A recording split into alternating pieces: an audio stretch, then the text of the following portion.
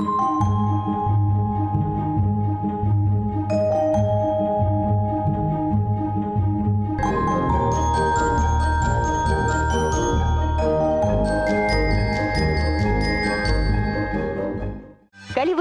значыць імкненне даведаў гэта ваша якасць. Прывітанне паважаныя гледачы. Гэта віктарына размаўляем па-беларуску, якой кожны можа паспрабаваць сябе ў ролі лінгвіста. Сёння мы вітаем у студыі юных, цікаўных, таленавітых і вядома удачлівых. І слова капітанам школьных каманд Вольга калі ласка. Мы, безумоўна, таленавітыя перспектыўныя артысты, якія прыйшлі да вас тэатральнай студіі равеснік. Гэта, безумоўна, і рэспубліканскі ўзровень, на якім мы маем вядучае першае месца. Ну тут апладысменты, вядома. Як называецца ваша каманда і хто з вами сёння? Наша каманда называецца сіла ведаў і за мной сягоння Даніл і за мной сёння Марыя. Выдатна. Дзякую вам. Давайте знаёміцца з другой камандай. Герман, калі ласка. Прывітанне Елена. Мы таксама таленавітыя і выдатныя інтэлектуалы, якія трэніруюцца ў элітным э, інтэлектуальным клубе белая рысь. Выдатна. Вось мы гуляем у сваю гульню, гуляем у што дзе калі. Мы лічым, што гэта сэнс нашага жыцця. Выдатна. Герман, як называецца каманда, хто з вами сёння? Наша каманда называецца эрудзіт выдатнікі і сёння з вами гуляюць Ксюша, Даніла і ваш пакорны слуха Герман. Дзякую. Ну не толькі ж са мной, але і з Да, цудоўнай камандай, якая, якую прадстаўляе студыя равеснік. Дзякую удзельнікам. Шаноўныя гульцы, за ходам нашай гульні будзе сачыць назіральнік, пісьменнік, мовавед, выкладчык беларускай мовы і літаратуры Святаслаў Крупенька. Вітаю вас, шаноўныя удзельнікі нашай гульні віктарыны. Вітаю і вас, дарагія тэлегледачы, аматары роднага слова. Гульцам удзельнікам зычу трапных адказаў паасобку і ў камандзе разам. Усім жадаю добрага настрою. Няхай роднае слово звініць як песня жаўрукова. Шчыра дзякуем вам, паважаны Святаслаў і пачынаем і наш першы этап прыгадваем. На этапе прыгадваем каманды адказваюць на пытанні ці праўда што. Варыянты адказу так ці не. Гэта своеасаблівая размінка, якая дапаможа кожнаму хутка ўключыцца ў гульню. Паважаныя удзельнікі, адкажыце правільна, вы пачуеце вось такі сігнал. Няправільны адказ будзе пазначаны інакш. Ён балаў не прынясе. Адказы каманды шукаюць па чарзе. Ну, а пачынае тая тройка, якая беспамылкова адкажа, колькі гукаў у слове ежа.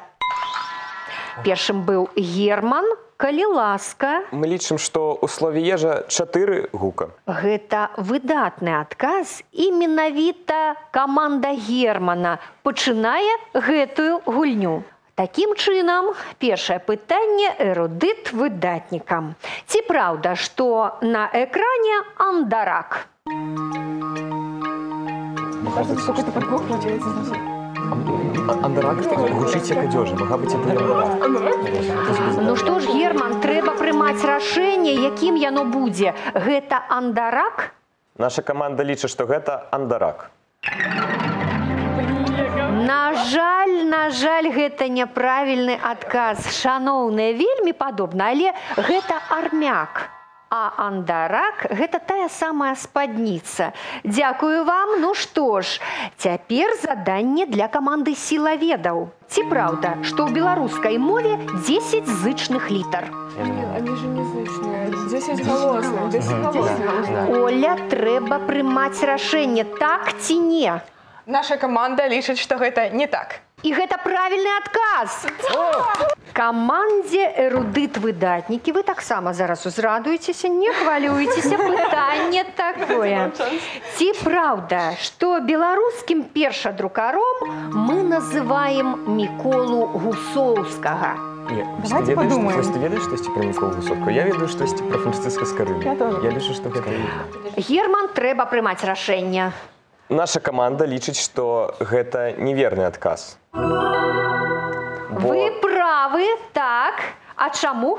Бо першы друкаром беларускім быў Францыск Скарына. Гэта трэба ведаць. Малайцы апладысменты. сілаведаў.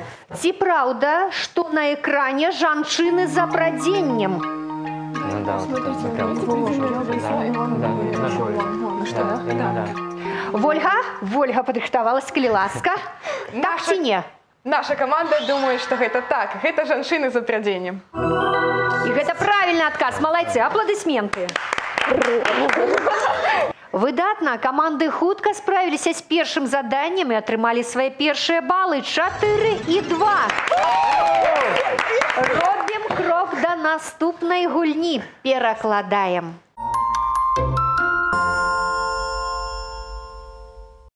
На другім этапе тэлевіктарыны удзельнікі будуць перакладаць сказы з рускай мовы на беларускую. Ну а першымі за перамогу будуць спрачацца прыгажуня Ксюша і Даніла. Яны паспрабуюць перакласці сказ. Мне нравится все делать быстро.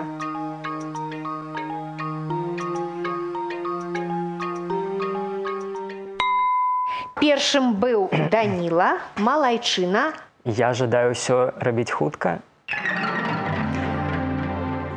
трошачки не дапрацаваў. Склаўся не вельмі прыгожы сказ, нейкі штучны. А давайте спытаем у Ксюшы, Ксюша. Мне спадабаецца ўсё рабіць хутка.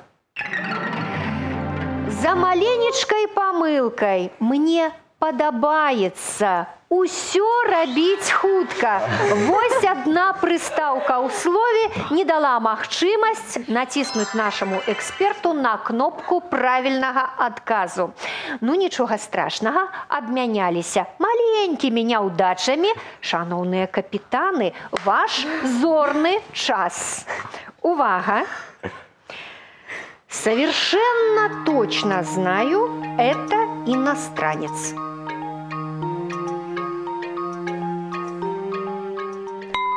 Вольга, малайчына, ну что ж, давайте послухаем, что у яе атрымалася.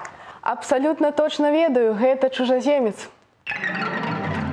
Толькі одно слово с памылкой, все астатняе правильно. Герман, калі ласка.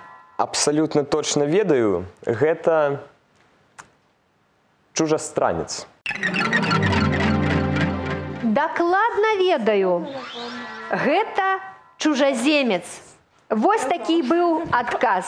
Ну што ж, Даніла гатовы? Маша гатовы? Увага, пытанне для вас. У парня какой-то жорсткі взгляд. Маша была першая. У парня якісьці жорсткі погляд. Самыя складаныя словы, на мой погляд, Маша пераклала. А вось самае простае не змагла, чамусьці хвалявалася. Даніла, паспрабуеце? У хлопца нейкі жорсткі погляд. Малайчына, ён пэўна і сам не зразумеў, што даў правільны адказ. Малайчына. Пакуль падлічваюцца балы, мы скарыстаем гэтую магчымасць і паслухаем нашага эксперта Святаслава Крупеньку. Шаноўныя гульцы, усё пакуль добра, адказы трапныя. Дадам толькі некалькі слоў для гледачоў. Іностранец перакладаецца як іншаземец або чужаземец. А вось словам чужой прышэлец адпавядаюць нашы чужы чужынец. Жорсткі взгляд по-беларуску будзе жорсткі або цвёрды погляд ці позірк. Жадаю поспеху ў наступных конкурсах. Як заўсёды шчыра дзякуем вам, паважаны Святаслав, за карысную інфармацыю падводзім вынік гульні ў пераклад 4 на 4. Ну а наперадзе эпізод тлумачым.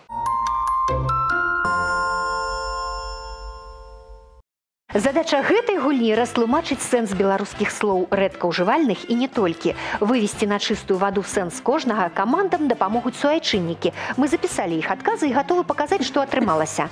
Ну а гульцам застанецца выбраць з трох варыянтаў правільны і залічыць на агульны рахунак каманды тры балы. Калі каманду часова напаткае няўдача, свой варыянт адказу даць сапернікі заробіць на падборы два ачкі, гуляем далей. Пачынае каманда з меншай колькасцю балаў, А у нас такой няма. Я думаю, што вы не будзеце супраць, калі сілаведаў пачне гэты конкурс, так? Так. Ну што ж, шаноўная Вольга, Маша і Даніла. Назоўнік багун. Які сэнс ён мае? А багун багун гэта драпежнае насякомае паўднёвых краін. Балотны зараснік з рэзкім пахам. Часовы будынак для цыркавых паказаў.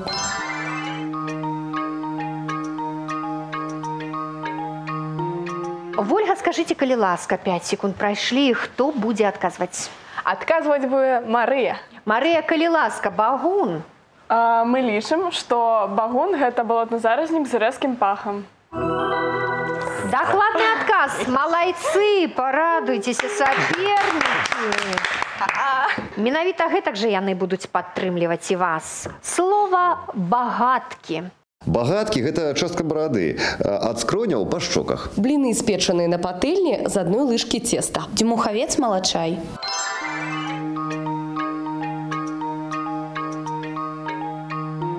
Толькі 5 секунд, шаноўны Герман, трэба гаварыць, хто? Адказваць будзе Ксюша. Мы лічым, што багаткі гэта бліны спечаныя на патэльні з адной лыжкі цеста. Наліснікі хутчэй спечаныя на патэльні з адной лыжкі і таму яны атрымліваюцца такія тоненькія тоненькія, а багаткі гэта нешта іншае. І я спадзяюся, што каманда сіла веда ўжо падрыхтавала адказ, хто яго будзе даваць А Вольга. даваць яго будзе Даніил. Мы лічым, што багаткі гэта дзьмухавец малачай. Яны ўсё ведаюць, малайчына. Наступнае слово для вас жа. Увага, увага. Вільчык, што гэта? Вільчык гэта ручная прылада з зубцамі для падняцця сена. Верхні стык двух бакоў страхі. Гэта лічынка бясхвостых земнаводных.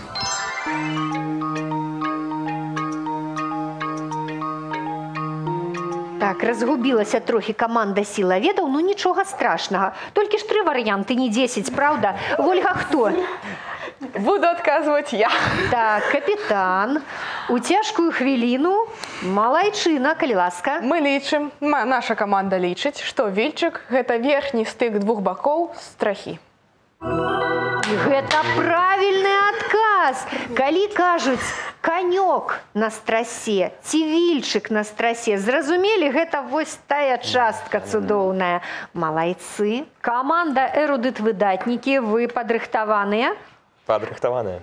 Слова вам выжаў. Выжал гэта тая самая дзікая свіння. Драпежная птушка з кручкаватай дзюбай. Гончы сабака.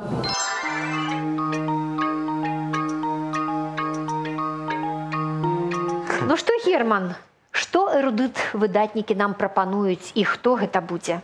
Адказваць буду я. Так. Наша каманда лічыць, што выжыл гэта драпежная птушка з кручкаватай дзюбай. А, Давайте спытаем, ці ведае каманда сіла ведаў. Так, Вольга, хто? Добра. Слово предоставляецца Марыі. Наша каманда лічыць, што выжыл гэта дзікая свіння. Не, не, дзік, дзікая свіння, вяпрук яшчэ можна сказаць, А вось выжал, шаноўныя, гэта гончы сабака. Цяпер вы гэта ведаеце. Наступнае пытанне для вас, каманда сіла ведаў. Разора, што гэта? Разора гэта халоднае месца ў хаце для захоўвання ежы. Гэта пруткая частка ў экіпажы, аўтамабілі э, або ў вагоне. Канаўка на паверхні зямлі праведзеная плугам.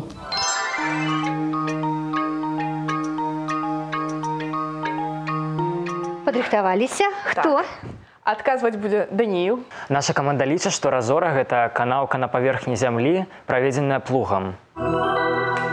Ваш адказ дакладны, малайцы, яны маюць рацыю. Герман, запэўніваю вас, менавіта гэтак жа вы ўзрадуецеся пасля таго, як пачуеце наступнае маё пытанне. Ражон. Што гэта? Ражон гэта прамая тонкая палка з завостраным канцом. Парадная гасціна або зала для прыёму гасцей. Грубая плеценая тканіна з лубяных палосак.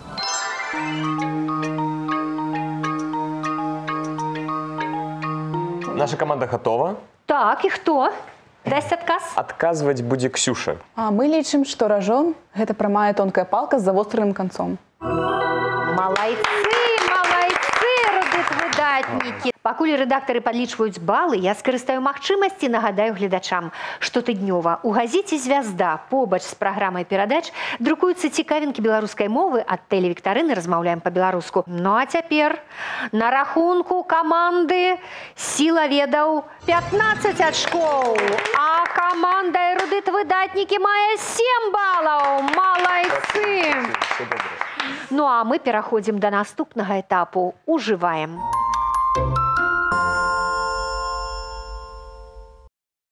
Цяпер мы будзем спрабаваць правільна ўжываць фразеалагізмы папярэдне раскрыем іх сэнс, але спачатку даведаемся, якія ўстойлівыя адзінкі выберуць нашы каманды. Першым канверт з фразеалагізмам адкрывае капітан каманды, у якой пакуль менш ачкоў. Герман, зараз вы ўбачыце 6 канвертаў. Парайцеся з камандай, які вы будзеце адкрываць. Нумар 4. Чацвёрты канверт Подставить плячо. Запомніце ваш фразеалагізм, я спадзяюся, ён добра вам знаёмы, шаноўная Вольга. А, Толькі 5 канвертаў засталося, любы акрамя чацвёртага выбірайце. Мы выбираем третий конверт. Добра, Утерти нос. паважаны капітаны, запішыце вашы фразеалагізмы і паслухайце, што трэба зрабіць. 30 секунд ёсць у вас на гэта заданне. Праз гэты час я ў вас спытаю. Які сэнс мае ваш фразеалагізм? Ці падабралі вы сказ і ці падабралі вы адпаведнікі з рускай мовы і сінонімы з беларускай? Усё зразумела. Працуйце.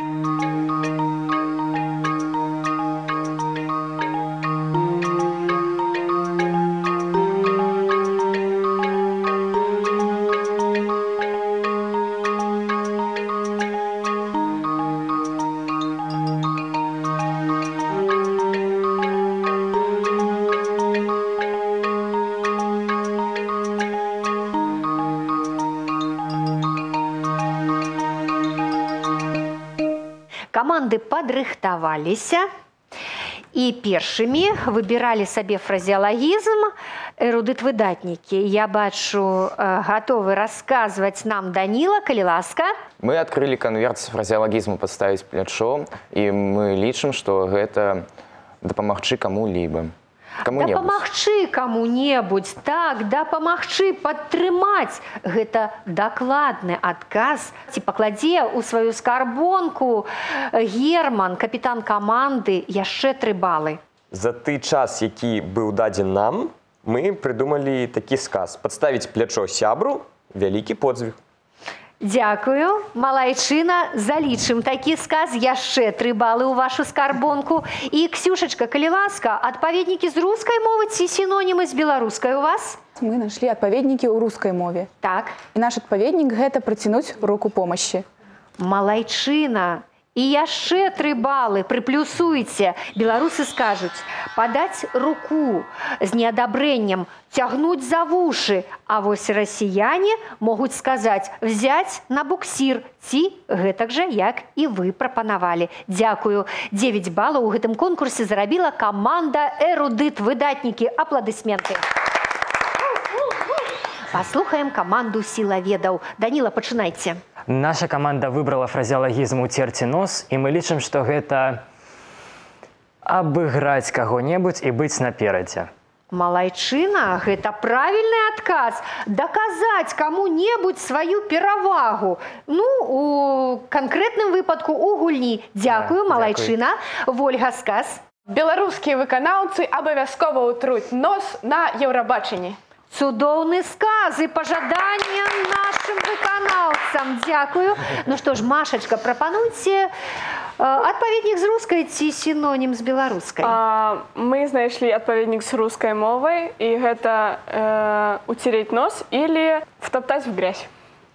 Ну, пэўна, гэта так. Дзякую. І яшчэ тры балы вам залічылі. Малайцы, беларусы скажуць: заткнуць за пояс, наставіць нос. Расіяне ім у адказ даць фору. Згодныя? Малайцы. Дзякуй вялікі камандам. Пакуль рэдактары падлічваюць агульныя балы, карысная інфармацыя ад Святаслава Крупенькі, нашага эксперта. Падумаў тут хвядос хвіліну, памарматаў, пачухаў спіну, пасля сказаў: малакасос, але падцёр старому нос. Такія цудоўныя радкі успомніліся мне ад кандрата крапівы. Шаноўныя гульцы, няма чаго і дадаць. Добра гуляеце, адно аднаму плечукі падстаўляеце, усё ведаеце, знаеце. Адным словам, уцёрлі нос складальнікам пытанняў. Так і далей трымаць. На рахунку команд 24 і 16 очков. І ми переходимо до апошнього етапу. Цитуємо. Задача гульцоў у наступным конкурсе з назвай цытуем простая працягнуць фразу і зарабіць лідарскія тры балы. Пачынае каманда, што пакуль набрала меншую колькасць балаў. Эрудыт выдатнікі менавіта вы пачынаеце і першае заданне вам музычнае.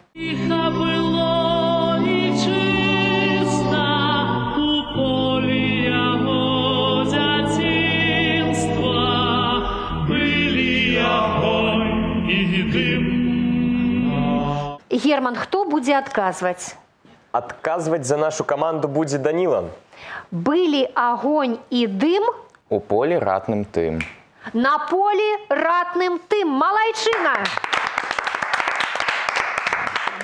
Такі стрыманы Даніла, ну малайчына ж, а стаіць нават не усміхнецца.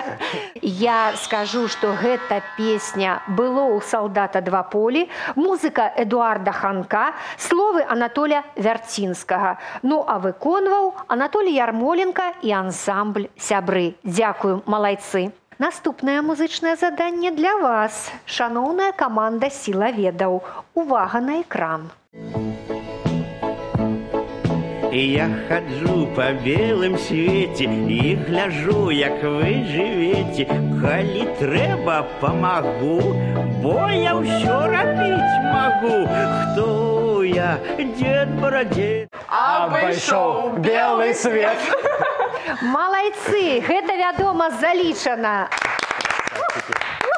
Гучала песня у выкананні цудоўнай каманды сілаведаў. Песня называецца дзед барадзед.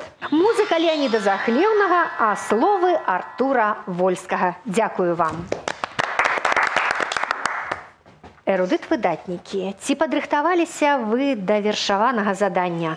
Канешне, я Цудоўна. Лілею млявы плёс люляе. З-пад злежаных аблок здалёк ляціць віхлясты і бялявы. пялёстак лёгкі матылёк. Я вельмі чакала гэтага правільнага адказу. Дзякуй вам за яго, малайцы.